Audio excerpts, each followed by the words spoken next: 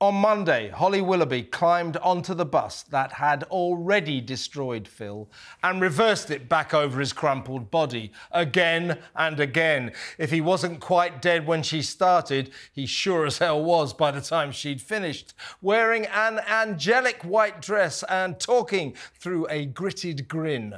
Ms. Willoughby ruthlessly dispatched what was left of Schofield's once glittering career to the scrap heap of TV history the smiling assassin, referring to her former best friend only once perfunctorily by name, before bizarrely bestowing they and them pronouns on a broken man she was meticulously annihilating on the very sofa where they pretended to love each other. A broken man who had spent the weekend posing for excruciatingly staged heartbreak pictures with his mother while briefing the press that he would not be watching Holly's return to the screen because it was still too painful for him to even hear the sickly sweet this morning theme tune. Deep breath, began Holly while Phil wasn't watching, before plunging the knife in and twisting it fatally amid deadly denunciations of someone who was not telling the truth. And then the weird detached language, chronicling how they themselves felt they had to resign from ITV and step down from the career they loved.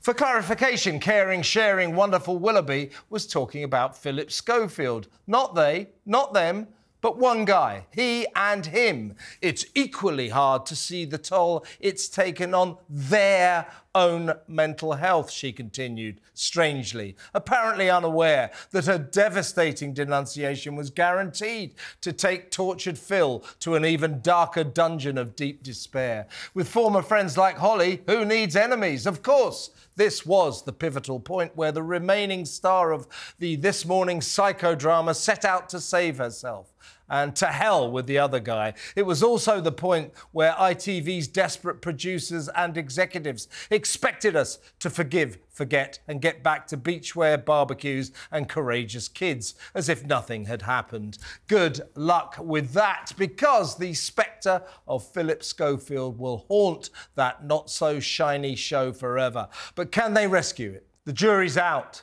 The moment Holly's hollow oratory ended, co host Josie Gibson purred, All we can do now is be the family we are. Josie, this morning is a poisonous nest of vipers. It is not a family. Then another dash of Holly droning on about the warmth and magic that this show holds for us all. Really? All of us? Hardly. You can count me out of that for a start. And then business as usual. Over to a brave boy battling health problems. And, of course, Master Chef John Torode knocking up a Barbie prawn recipe. All comfortingly, reassuringly boring from a predictable programme cobbled together in the little house of seen 'em all before daytime telly cliches. But was it enough? Was writing Schofield out of the story and reducing him to a couple of grammatically incorrect pronouns. All that was needed to close the book and move on? Do we trust that Holly knew nothing of Phil's inappropriate office romance with a male colleague 34 years his junior? Do we accept that the instant Schofe looked into her eyes and emphatically denied the affair, Holly unquestioningly believed him, because a fair few of his other colleagues emphatically did not. One newspaper columnist dismissed Miss Willoughby as a conniving heap of blonde ambition whose protestations simply do not ring true, describing her as Saint Holly Mother Superior of the Blind Eye Convent. An image that no amount of drivel about warmth, magic, and family will ever dispel. Phil has gone.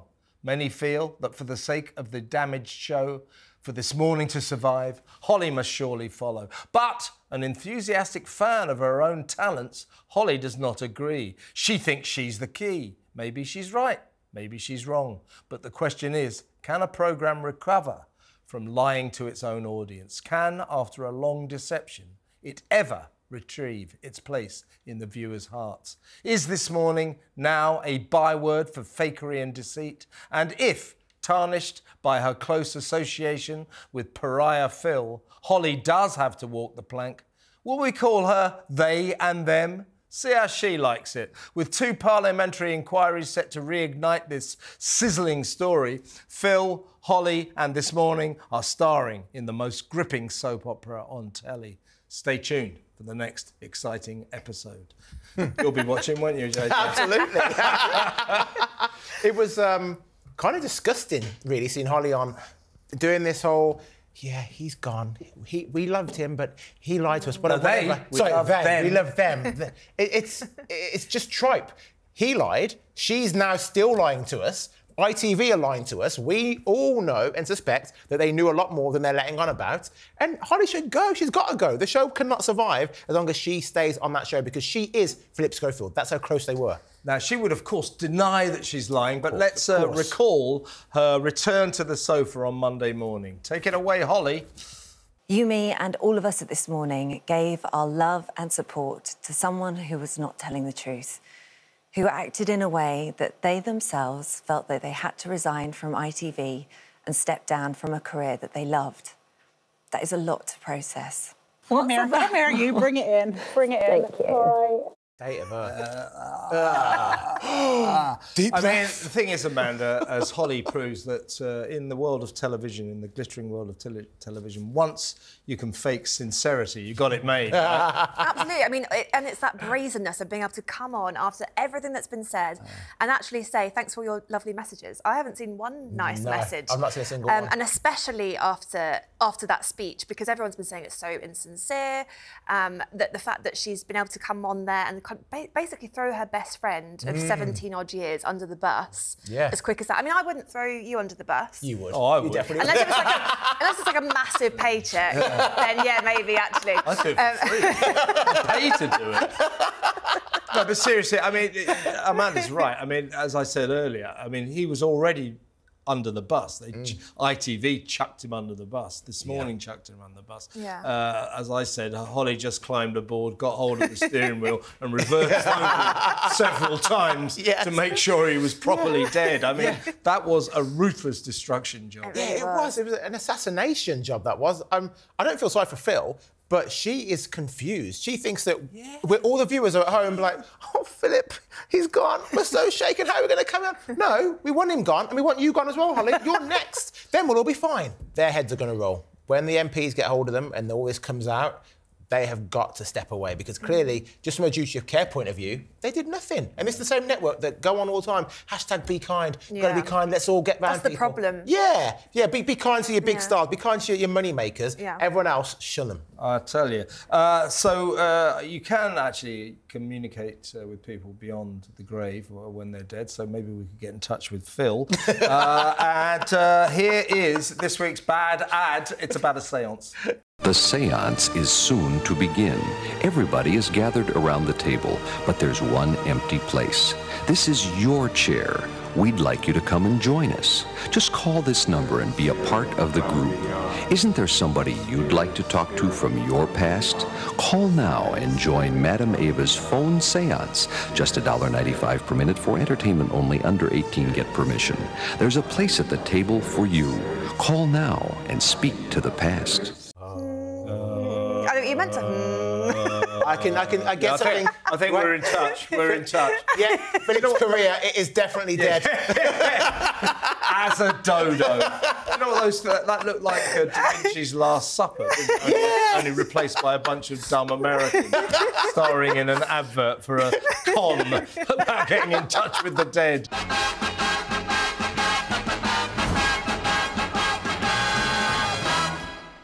Yes, anti-social media. I get lots and lots of tweets, Facebook uh, messages, uh, all denouncing me uh, as something terrible. They're probably right. Uh, here's a selection. Here's the three highlights of the week. Uh, here's one. Does Kevin O'Dullivan? Kevin That's good. Dullivan. That's good. Very clever.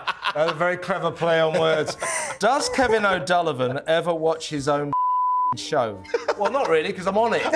Uh, it's the TV equivalent of rubbing sand into the eyes of starving children and making them fight to the death over scraps of gammon. It's really thought Thanks. about that one.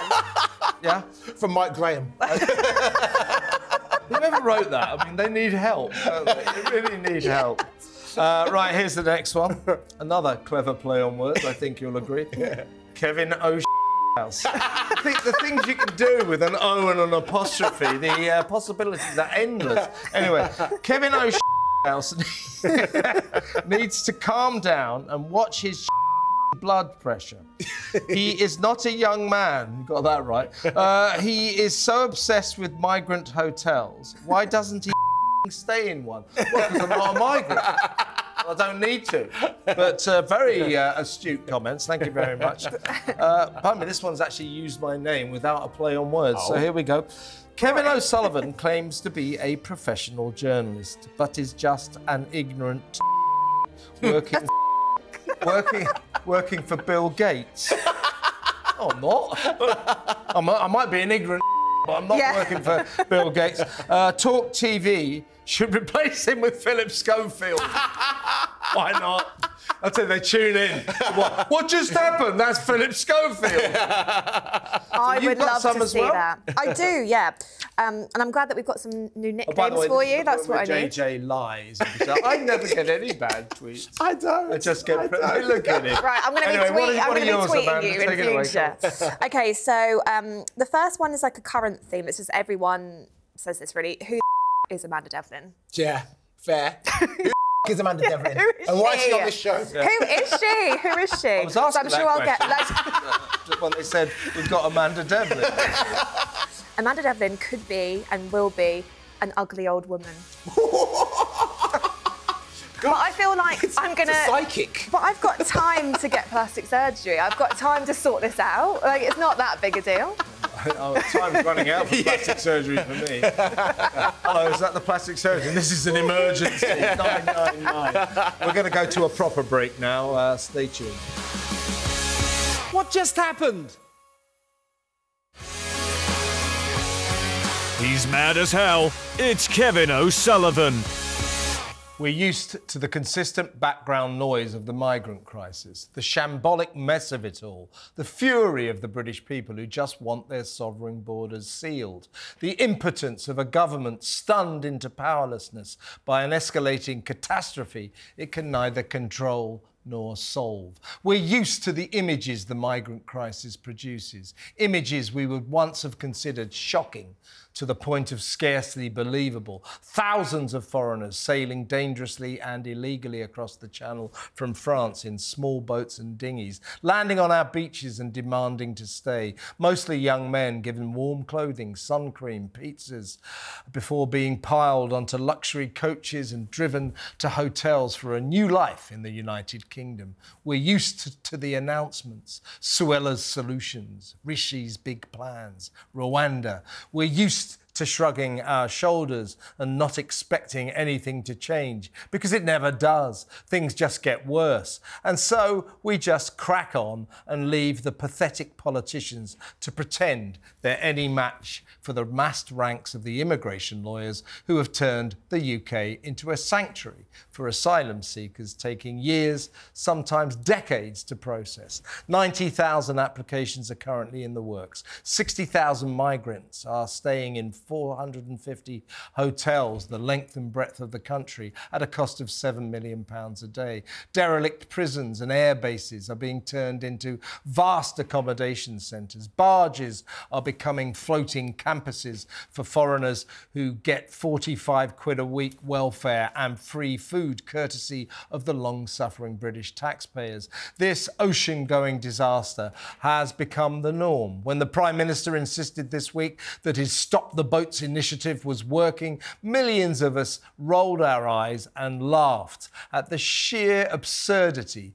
of his empty nonsense. It isn't working. Of course, it's not working. It's not even anywhere close to working. So, we leave simpering Sunak to his tedious task forces, to his mysterious half billion pound gift to France to allegedly patrol its own beaches, to his Rwanda scheme that never got off the ground, and to his strange delusion that somehow he's on the case, that somehow his uselessness at confronting the crisis won't lose him the next election. Meanwhile, away from Planet Westminster, down here in the real world, we watch open mouthed as the migrant crisis enters astonishing new uncharted territory. Now they're staging angry protests over the standard of the hotels they're not paying for, over the size of the bathrooms, the smell in the corridors, the quality of the Wi Fi, none of which are up to their required standards.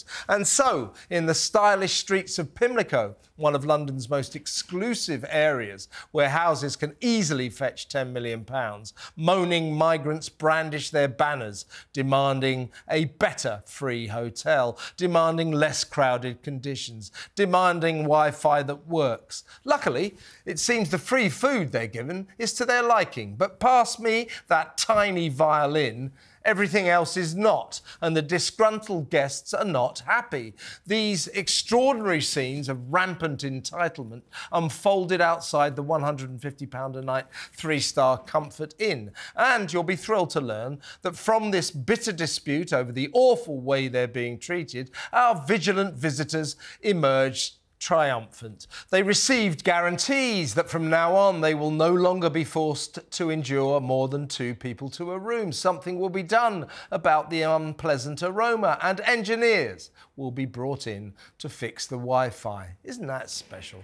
If ever you wanted a sign that the migrant crisis is insanely out of control, look no further than the Comfort Inn in Pimlico, where one of the protesters pointed out that he's been in Britain at our expense for two years. He alone has cost us more than £110,000. There are nearly 100,000 more just like him and rising, racking up this enormous bill without end. But maybe the next time any of our migrant friends decide they are unsatisfied with the hotel they have been provided with, we tell them to find a superior hotel, more to their liking, perhaps four or five star rather than a mere three. And hey, call me controversial. How about this? They pay for it them damn selves.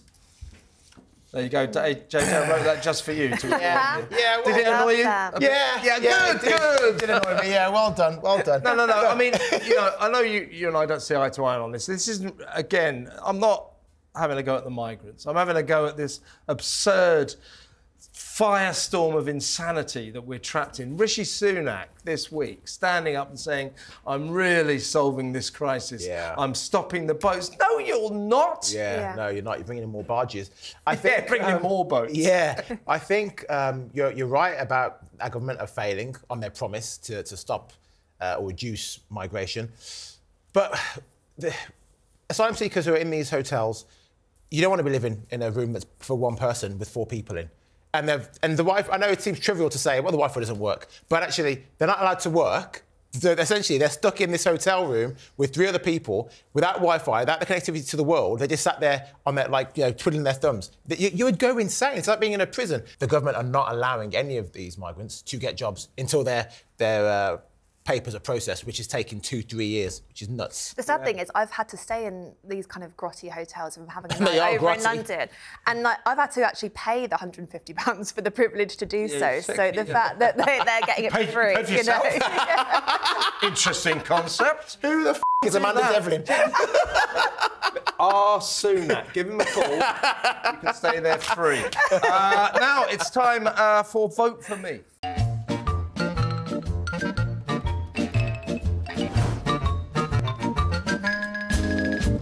And this is especially for you. Uh, it's a Labour Party uh, past political broadcast back in 1996. Just for you, Jojo. Wherever you go, the 22 Tory tax rises are never far behind.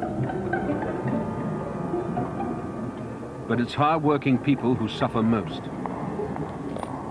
While the Conservatives look after the fat cats, like gas and water company bosses, the rest of us have nowhere to hide. We have to work longer hours just to pay for the 22 Tory tax rises.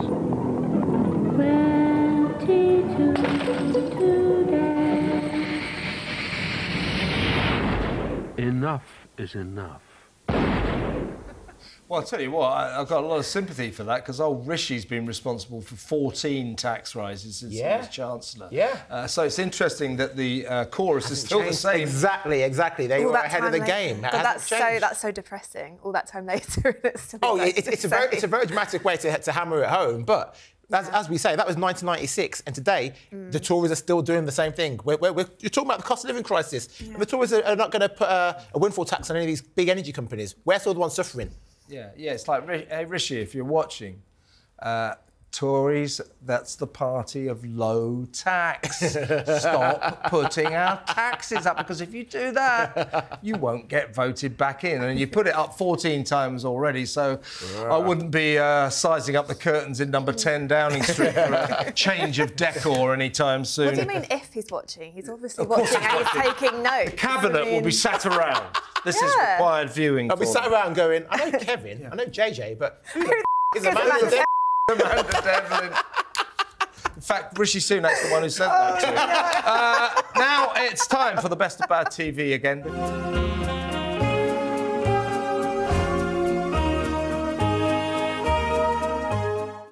We all like balloons, don't we? You know, they're great fun at a party. Uh, this, this guy, this guy, uh, his love of balloons, wrong time to take a drink. it's kind of disturbing. Let's have a look.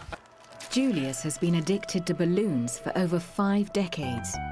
It started when he was a child as an innocent attraction to the shapes and colours.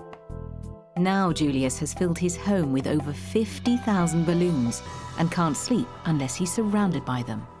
Well, uh, we watched this earlier, and I said, I, I, Um, he looks like the kind of guy who doesn't have a wife and kids. yeah. Uh, now, if There's you no look at- room for If you look at the next uh, advert, uh, I think it confirms my contention. Take it away. Julius's obsession with balloons goes beyond shapes and colours. My love for balloons, it's also a sexual love. When I see a, a beautiful balloon, my heart starts to flutter and I get aroused. I'll take a 12 inch and I'll inflate it to 11 inch. That way it can take a lot of abuse. I'm holding one, you know, hugging it. I'll kiss it. And it's like being in heaven. I mean, don't you like to hug and kiss the woman that you love? Yeah, Oh but that's not the same as hugging and kissing a balloon. No. And it, so he keeps the pressure low because then it can take. A, did you hear what he said? Yeah, Keeps the take pressure low so it can take a lot of abuse. I'd like to put a public plea. Check that man's hard drive. Yeah. Check it now. I'm telling you, there's, there's, there's something not quite right about that geezer. and Amanda, how long have you been going out with him? This is exactly what I was going to say. That is You're engaged- when are you genuinely married? that is the kind of that's what's in That's the the kind dating of guy pool. do- you're this is like Thank you very much to uh, my regular guest JJ Anisiobi, who uh, I doubt if I will succeed in preventing from coming next week. Uh, and thank you so much, assistant uh, ed- showbiz editor at the Sun, Yeah. Amanda. Thank you very much. We'll be back next week. That's it for What Just Happened. What just happened?